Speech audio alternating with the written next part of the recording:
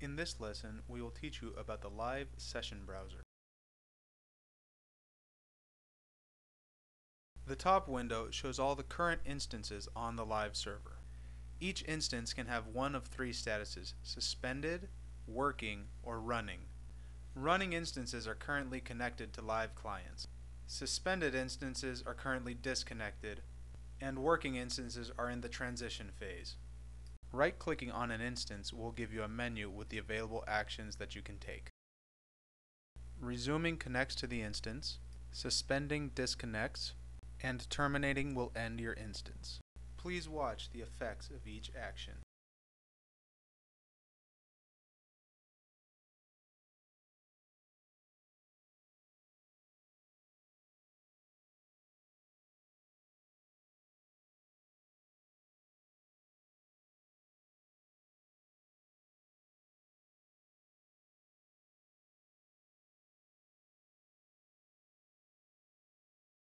Congratulations, you have now learned how to use the session browser to manage your instances.